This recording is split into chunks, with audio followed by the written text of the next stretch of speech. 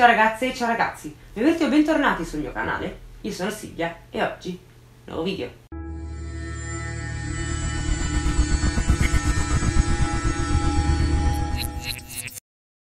Ragazzi vi ricordo che se avete piacere potete seguirmi su Instagram, detto questo andiamoci dentro col video. Oggi ragazzi voglio parlarvi di un caso davvero triste che quando ho scoperto mi ha colpita tantissimo. Ho letteralmente continuato a fare ricerche senza neanche rendermene conto, in quanto il mio fine ultimo in questo caso non era fare un video. Dopo aver scoperto tutta la storia io ve lo giuro non sono riuscita a togliermela dalla testa. Continuavo a pensare e a ripensare a questo terribile caso e quindi oggi sono qui per parlarvi della storia di Michael Mick Philpott e di sua moglie, Myred Duffy. Partiamo immediatamente a delineare il passato di queste due persone. Michael Mick Philpott è nato nel 1956 a Derby, una città situata nella contea di Derbyshire. Della sua infanzia si sa poco o niente, quindi non posso dirvi con certezza se abbia vissuto in una famiglia disfunzionale o meno. Mick è poliamoroso ed era addirittura diventato famoso nei media britannici per la sua numerosa famiglia. Aveva avuto ben 17 figli da diverse donne. La dipendenza e i sussidi statali quindi è un passo abbastanza prevedibile. Il punto è che Mick non conduce una vita da innocentino e soprattutto non è assolutamente un uomo di buon cuore. Il suo atteggiamento nei confronti delle donne è sempre stato descritto come violento e manipolatore, col perenne bisogno di avere tutto sotto controllo. Arriviamo quindi a luglio del 1978. Mick aveva 21 anni, lavorava nell'esercito e frequentava una donna di nome Kim Hill, Pensate che lei aveva 17 anni e i due erano ormai fidanzati da due anni. Di conseguenza, se la matematica non è un'opinione, i due hanno iniziato una relazione quando Kim aveva 15 anni. Michael ha già dimostrato degli atteggiamenti violenti e pesanti. L'uomo ha colpito Kim quando, secondo il suo modesto parere, il vestito che indossava era troppo corto. Oltre a ciò le ha anche fatto seriamente male a un ginocchio, in quanto tra i due c'era stata una lite a causa del nuovo lavoro di Kim. Faceva la babysitter e quindi passava troppo tempo con il figlio di un'altra famiglia. Questo è bastato e avanzato per farlo scattare. Ad un certo punto Kim, arrivata allo stremo, aveva deciso di lasciarlo addirittura con una lettera, perché era arrivato a un punto in cui non voleva più avere niente a che fare con lui. Non aveva assolutamente intenzione di rivederlo in quanto aveva superato decisamente il limite. Kim aveva anche chiamato sua madre per aiutarla nei momenti successivi alla rottura, ma la verità è che Mick colpisce. Durante una notte si introduce a casa di Kim per poi pugnalare lei e sua madre. Fortunatamente si salvano entrambe,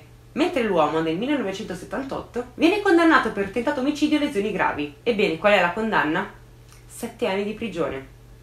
Però Mick, dopo tre anni e due mesi, è libero come un uccellino. Il punto è che anche dopo la reclusione, le relazioni di Mick sono sempre circondate da controllo e violenza.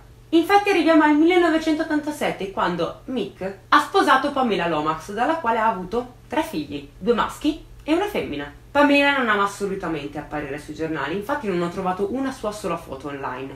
Però ha ammesso che non vedeva l'ora di vederlo sparire. Pamela infatti aveva notato che suo marito non era proprio avvezzo alla fedeltà, quindi ha semplicemente sperato con tutta se stessa che l'uomo trovasse presto un'altra ragazza per posare la sua attenzione su di lei e quindi di conseguenza anche il suo controllo assurdo ed assoluto. E infatti è accaduto proprio questo. A 37 anni, Michael incontra Heather Kioi, che ha a malapena 14 anni. La incontra a Rainworth, un villaggio nella contea del Nottinghamshire. La relazione va avanti in gran segreto per due anni. Anni nei quali Michael gonfia le fantasie della ragazza di Heather. Le dice che sarebbero stati bene assieme, finalmente soli, senza alcun ostacolo. Mick dice a Heather che sarebbe stato dolce con lei, le avrebbe regalato una grande casa e una vita bellissima. E quindi arriva il giorno in cui Ether scappa di casa. Quello è il giorno del suo sedicesimo compleanno e Ether scappa per coronare il suo grande sogno romantico. Ebbene, la coppia anche in questo caso ha avuto due figli, due maschi per l'esattezza, in rapida successione. Ma ahimè, Michael voleva una femmina. E quindi al posto di star vicino a Ether per riuscire a raggiungere insieme questo traguardo, sperando ovviamente con lei, pensa sia giusto metterle le mani addosso. Perché era colpa sua se non riusciva a mettere al mondo una dannata figlia femmina.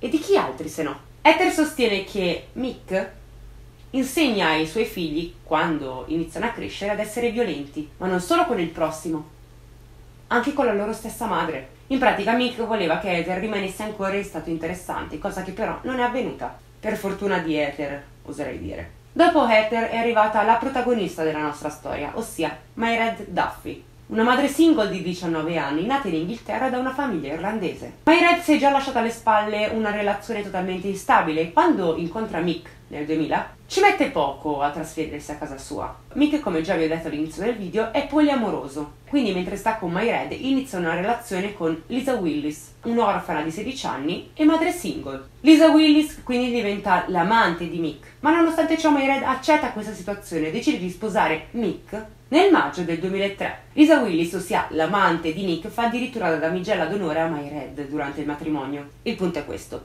Mick ama controllare ogni aspetto della vita delle sue compagne, dal più serio al più insignificante. Mick deve sapere quante siano le loro finanze, quale sia il loro lavoro, i loro amici e i posti che frequentano. Mick ha questo comportamento schematico che utilizza con tutte le sue compagne, comprese My Red e Lisa. Ad un certo punto i tre si trasferiscono tutti insieme in una casa a Victory Road. Però la relazione tra Michael e My Red non va molto bene. La donna è spaventata da lui in quanto è controllata costantemente. Di conseguenza fa Mick tutti gli acquisti dal primo all'ultimo. Va direttamente lui a fare spesa col fine di controllare ogni singola uscita monetaria. Le due ragazze, Myred e Lisa, non hanno soldi per sé e se vogliono qualcosa devono chiederlo a Mick con molto rispetto, per aspettare che lui decida se avrebbero potuto averlo oppure no. Essendo un uomo autoritario, ovviamente Mick dà loro degli ordini, che può essere pulisci casa, preparami un tè, lava la tazza che ho sporcato, lava il piatto che ho sporcato, lava lì dove ho sporcato. Le due donne non si sono mai tirate indietro, accettando l'autorità di Mick. Intanto il tempo passa e Mick si crea una famiglia con entrambe le donne ed in pochi anni, in quella casa a Victory Road, arrivano ad esserci ben 11 bambini. Ovviamente questa condizione alquanto particolare inizia ad attirare l'attenzione della comunità, fino a quando Mick nel 2006 fa un annuncio col fine di ottenere una casa popolare più grande. Ovviamente Mick non ottiene assolutamente una casa popolare più grande, però in effetti ad un occhio esterno sembra davvero che tutto vada bene. Pare che le due donne e i rispettivi bambini stiano bene,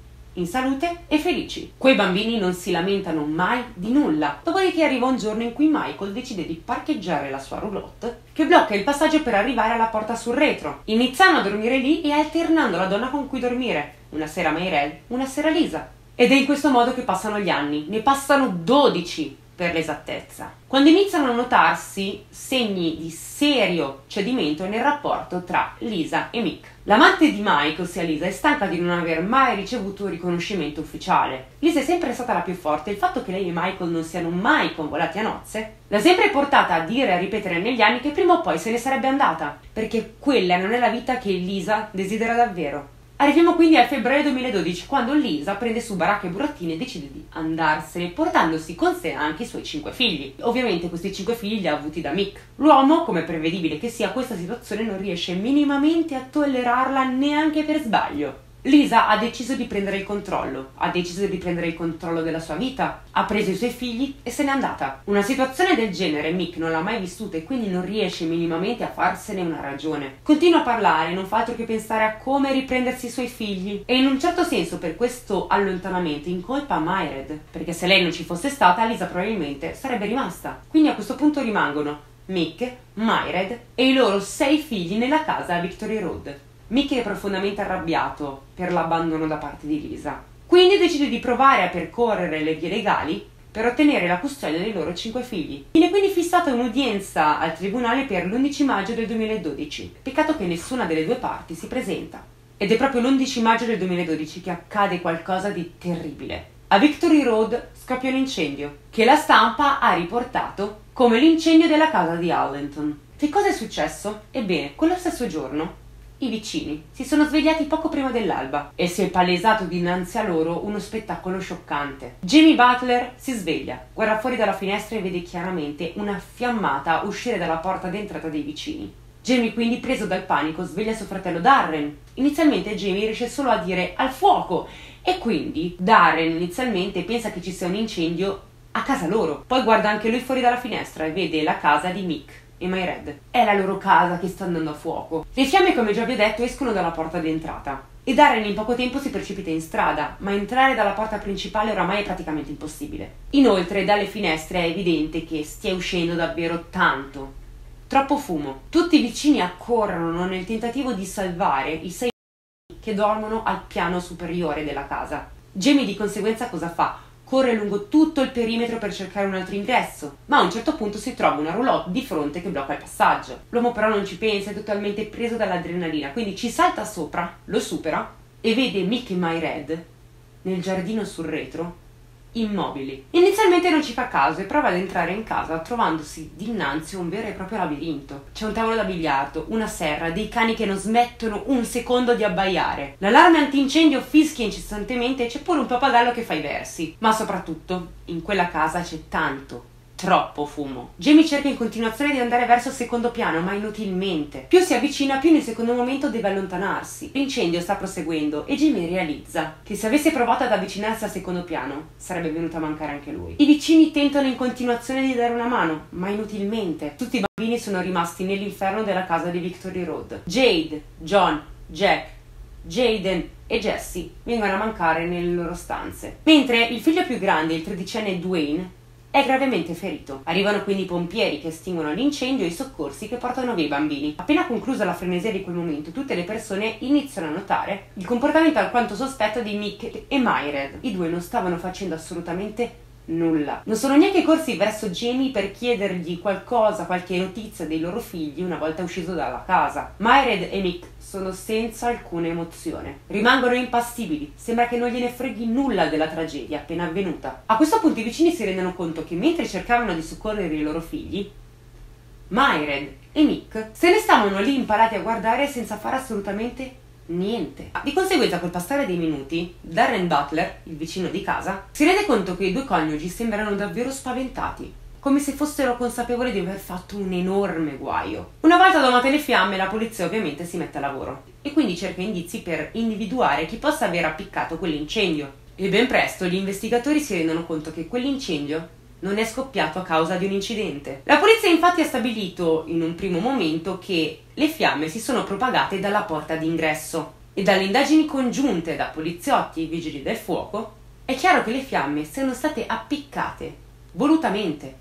Una volta stabilito che si trattava di incendio doloso, ovviamente sono iniziate le indagini per capire chi possa aver commesso quel gesto estremo. La prima ipotesi formulata dagli investigatori è che dietro tutta la faccenda ci fosse l'amante di Mick ossia Lisa Willis. La ragazza quindi viene ben presto arrestata, ma questa si rivela una falsa pista. L'ex amante di Mick viene rilasciata senza alcuna accusa, mentre le voci sulla famiglia Philpott si moltiplicano, anche a causa del comportamento di Mick e Myred, che ad essere onesti, appare davvero incomprensibile. Il figlio più grande, Dwayne, viene trasferito in una struttura a Birmingham e Mick non vuole andare in ospedale perché quel giorno sarebbe dovuto apparire in tribunale. Di conseguenza Mick vuole far andare sua moglie dal loro figlio in ospedale da sola. Chiunque però gli fa notare che questo è un comportamento alquanto assurdo e quasi lo costringono a salire in macchina per andare a trovare suo figlio in ospedale. La madre di Mayred e sua sorella minore sono arrivati in ospedale più o meno alle 2 del pomeriggio. La madre e la sorella minore di Mayred quindi chiedono ai genitori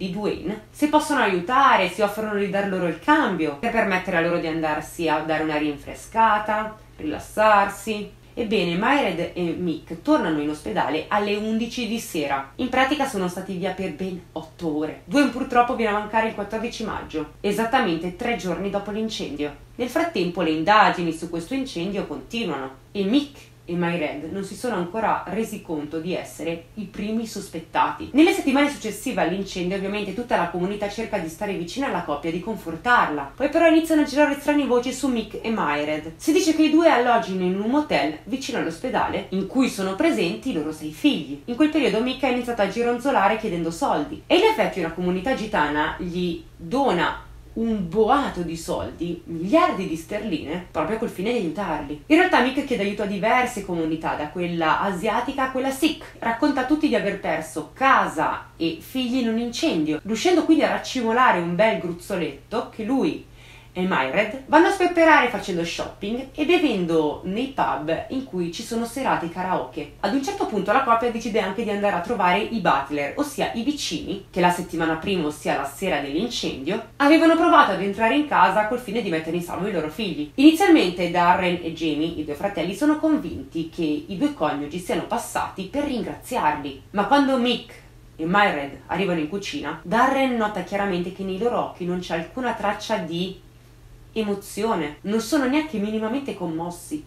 Niente di tutto ciò. Non appaiono dispiaciuti, disperati, anzi, sembrano addirittura allegrotti. Darren, nonostante il loro comportamento bizzarro, decide di andare ad abbracciare Myred, che però è presa alla sprovvista e quindi rimane immobile, non ricambia neanche l'abbraccio. Ad un certo punto Mick si rende conto che, insomma, stanno destando un po' di sospetti quindi prova a inscenare un pianto imbarazzante, ma il destro è assolutamente non credibile. Infatti i detective, dopo aver appurato che l'ex amante di Mick non c'entra nulla con questa faccenda, inizia a tenere d'occhio lo stesso Mick e sua moglie Myret. La polizia finalmente ha stabilito con certezza che l'incendio è partito dall'interno dell'abitazione. Di conseguenza la coppia e l'amico di famiglia che quella sera si trovava in casa, ossia Paul Mosley, viene messa sotto sorveglianza. Vengono anche piazzate delle cimici nella loro camera d'albergo, in quanto i due ci hanno passato parecchio tempo lì dentro. E infatti la polizia, proprio durante il loro soggiorno in hotel, ha effettuato delle intercettazioni che poi sono state usate contro di loro in tribunale. Tra le conversazioni sussurrate e analizzate è venuto fuori questo scambio tra Mick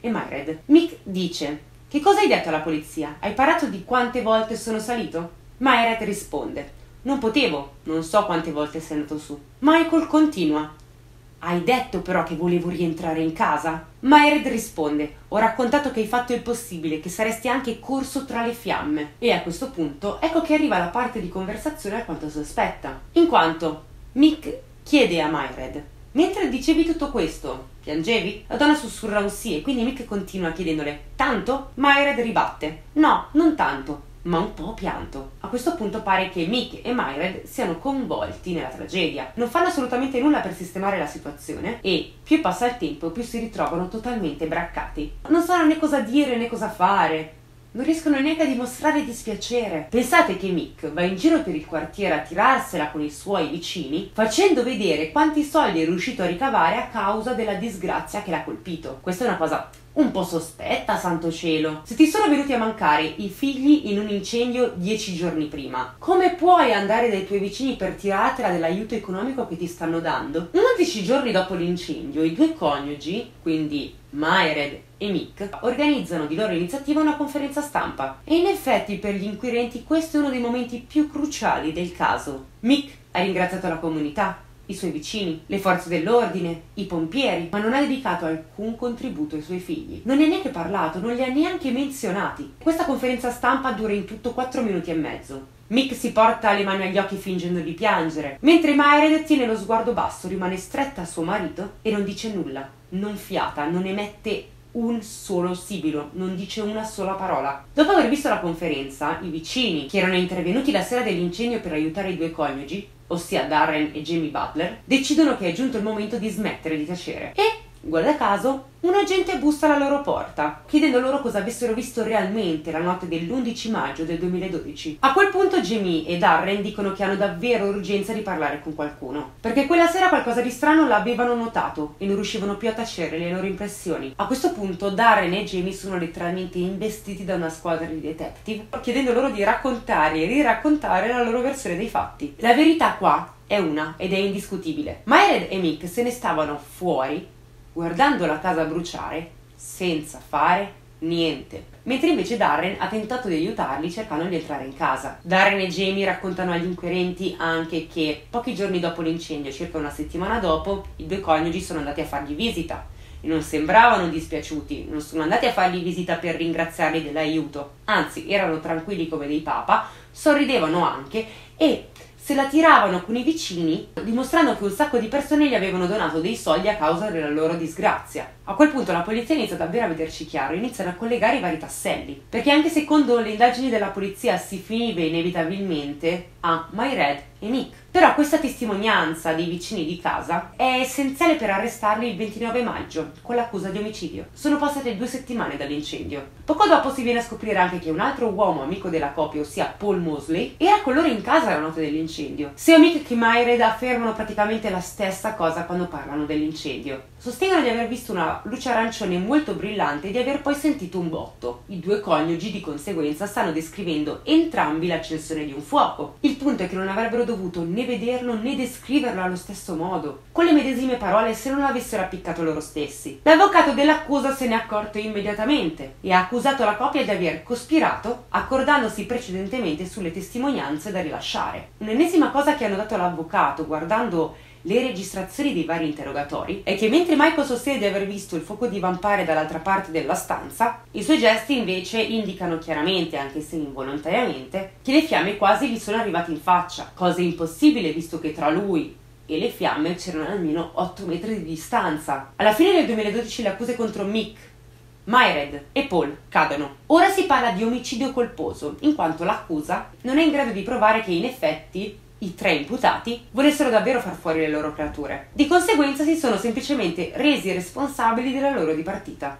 Il processo inizia l'11 febbraio del 2013 e la sordida storia della famiglia Philpott viene a galla. Si viene infatti a scoprire che Paul e Mick erano grandi amici e Mick amava condividere sua moglie con lui. Una delle prime prove presentate alla corte è la telefonata che Myred ha fatto la notte dell'incendio. Ascoltando la chiamata si sente Myred che parla in modo abbastanza tranquillo. Spiega la situazione e chiede un'ambulanza, i pompieri e una pattuglia. Questa situazione in tribunale desta molti sospetti, in quanto secondo gli avvocati dell'accusa se vieni colta di sorpresa a causa di un incendio, la prima cosa che viene da fare è chiedere l'intervento dei pompieri. Poi al limite chiedi l'intervento delle forze dell'ordine e dell'ambulanza. Il fatto che Mayred abbia immediatamente chiesto un aiuto medico in tribunale è un segno rivelatore. Il fuoco l'ha appiccato lei, con suo marito e il loro amico in comune Paul. Durante la chiamata che ha fatto Mayred, si sente poi alla fine, prima che lei agganci, la voce di Mick che urla Non riesco ad uscire! Ebbene, quella sembra l'esclamazione di una persona che tenta di scappare da un pericolo imminente, non certo di qualcuno che sta tentando di rientrare in casa. In aula, dopo le varie prove presentate, inizia ad emergere un quadro davvero preoccupante e grottesco, ma tristemente reale. Qualche settimana precedente all'11 maggio, Paul,